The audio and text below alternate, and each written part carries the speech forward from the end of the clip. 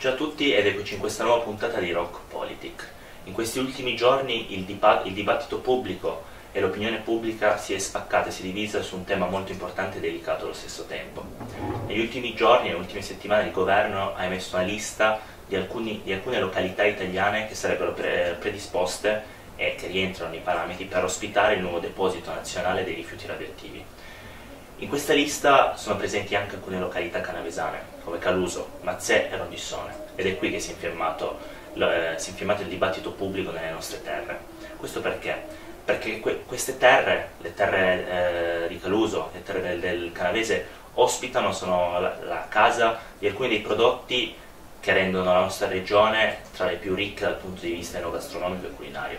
Un esempio tra tutti è la Baluce di Caluso.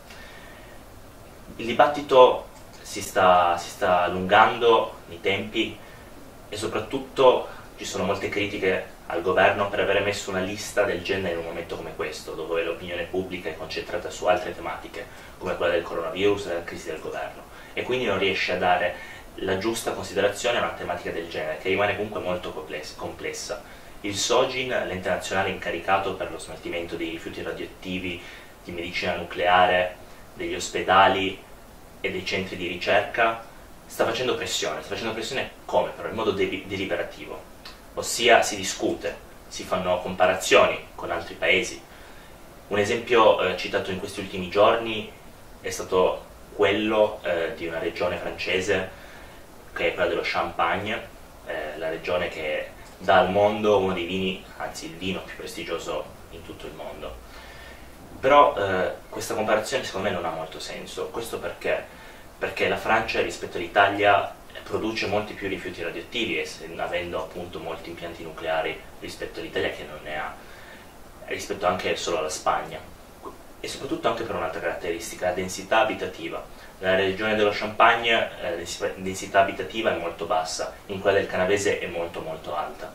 Un'altra problematica è quella che nella lista sono stati inseriti comuni che si sono opposti con grande voracità alla, eh, costruzione dell'impianto, mentre ci sono altri che si ritengono appunto eh, che, ritengono che, che, le proprie terre rientrino eh, nei parametri emessi dal governo, che non sono ancora del tutto limpidi, e quindi stanno cercando di autocandidarsi per ospitare il deposito. Non si, saprà, non si, saprà, non si sa ancora come come andrà a finire la storia, la storia sarà molto lunga, ci sarà ancora un forte dibattito, sarà portato sicuramente nei media e nelle aree parlamentari, nelle arene parlamentari adeguate. Sicuramente si giungerà a un compromesso. Questo perché oltre alle tematiche ambientali ci sono da considerare molte altre tema- tematiche, soprattutto quelle economiche, soprattutto l'indotto che viene portato da una costruzione del genere, un impianto del genere, soprattutto perché anche ci sarebbero molti posti di lavoro che questo impianto, questo deposito porterebbe nelle nostre aree nella regione Piemonte. Grazie a tutti per l'attenzione, aspetto dei vostri commenti, ci vediamo alla prossima puntata di Rock Politic.